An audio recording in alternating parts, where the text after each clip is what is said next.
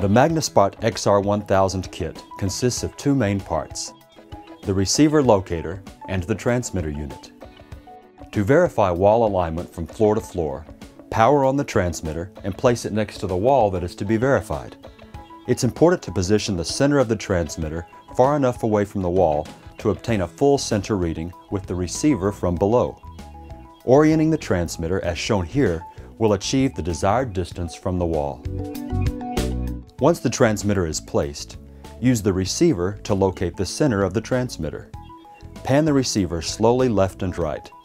When you are in the general location of the transmitter, the directional lights will illuminate. Once the transmitter has been located, hold the receiver flush to the ceiling and simply move it in the direction of the illuminated arrows.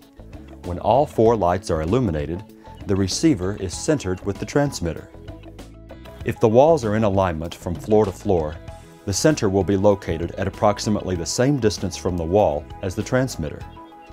Verifying wall alignment using the XR1000 eliminates the need for time-consuming measurements and gives the installer confidence in floor-to-floor -floor location.